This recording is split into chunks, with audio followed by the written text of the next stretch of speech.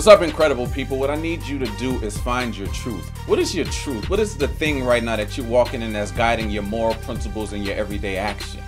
That's the one thing that we need to do is find a way that we can get this truth and this identity within ourselves that realizes our true greatness, the true potential that we have to make sure that we're walking in truth, we walk it in values, we walk it in morals that can impact and inspire the next generation.